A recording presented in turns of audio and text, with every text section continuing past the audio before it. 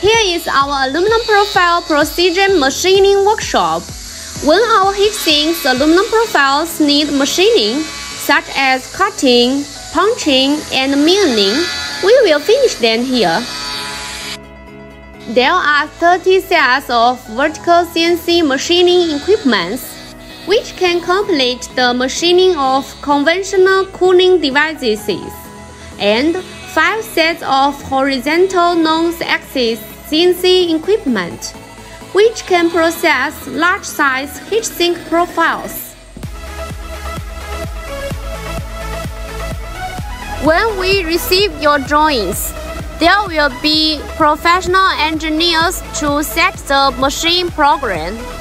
These automatic machines will be processed according to the program.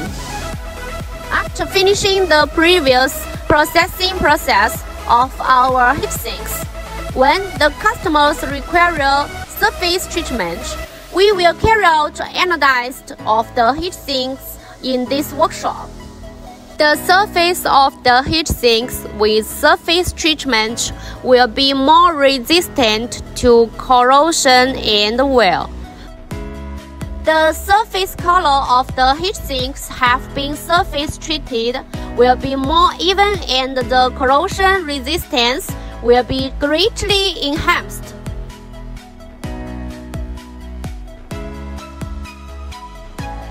After the above procedures are completed, the last step is also a very important step quality inspection. We will according to the customer's quality inspection requirements and standards